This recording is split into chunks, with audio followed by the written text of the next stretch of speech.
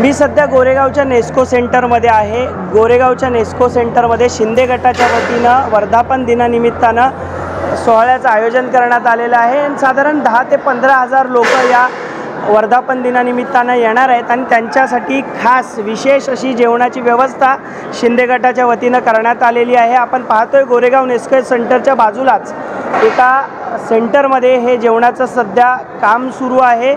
राज्यभरातून लोक या ठिकाणी येणार आहेत आणि त्या दृष्टीने जेवण या ठिकाणी आपल्याला बनवताना पाहायला मिळतं आहे कोणतीही गैरसोय शिंदे गटाच्या कार्यकर्त्यांची होऊ नये आणि यासाठीच शिंदे गटाच्या वतीनं चोख या ठिकाणी खबरदारी घेण्यात आलेली आहे.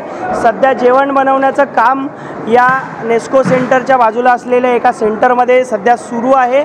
दहा ते पंधरा हजार लोकांचं जेवण या ठिकाणी बनवण्यात येतं आहे. त्याचबरोबर नाश्ता आणि पाण्याची व्यवस्था देखील या ठिकाणी करण्यात आलेली आहे.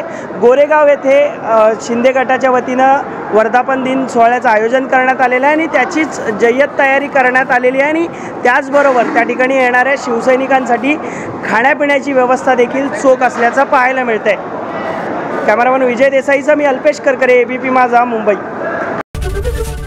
एबीपी माझा. उघडा डोळे बघा नीट.